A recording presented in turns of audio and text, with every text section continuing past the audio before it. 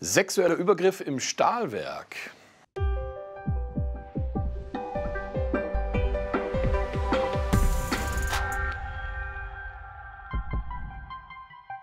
Mein Name ist Arne Schrein, Rechtsanwalt aus München und Referent der WRF. Ja, äh, wenn Sie diesen YouTube-Video angucken, denken Sie vielleicht irgendwo, Mensch, äh, wovon handelt es denn jetzt hier? Sexueller Übergriff im Stahlwerk, was ist denn das?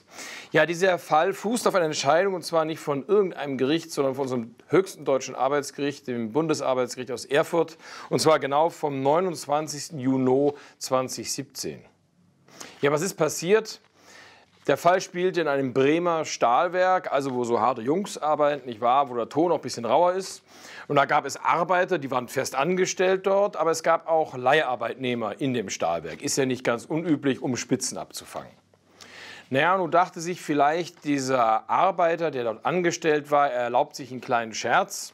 Und ein Leiharbeitnehmer in dem Stahlwerk lief so vor ihm und dann hat er ihm plötzlich ins Geschlechtsteil gegriffen. Ja, ziemlich schmerzhaft, auch mit einer rüden Bemerkung. Dann hat der Leiharbeitnehmer das nicht so hingenommen, sondern hat sich bei dem Entleiher, wo er entliehen wurde, also bei dieser Stahlfirma, beschwert. Der Personalchef oder der Geschäftsführer hat davon Wind bekommen und hat den Arbeiter, der dort angestellt war, auch entlassen. Dagegen hat er sich gewehrt, Kündigungsschutzklage erhoben und dieser Fall ging jetzt bis zum Bundesarbeitsgericht. Der Arbeiter sagte nämlich, das war ja ein blöder Witz, das war ja ein Scherz. Und hier im Stahlwerk, da muss man sich auch ein bisschen was gefallen lassen. Wir sind ja hier nicht bei einer Bank oder bei einer Versicherung. Und außerdem hatte ich gar keine sexuellen Absichten. Und jetzt war die Frage, braucht man hier eine sexuelle Absicht, damit es eine Kündigung rechtfertigen könnte, oder geht das auch ohne dessen? Und das Bundesarbeitsgericht sagt in seiner Entscheidung, also auf die sexuelle Absicht kommt es überhaupt gar nicht an.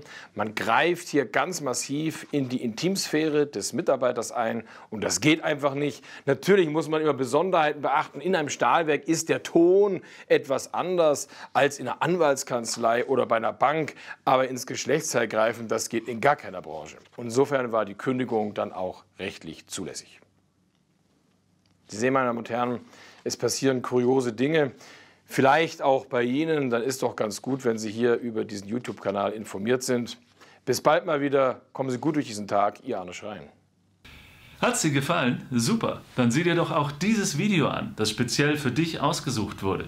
Hier findest du ein Gratisangebot für dich als Betriebsrat. Und hier kannst du kostenlos unseren Channel abonnieren.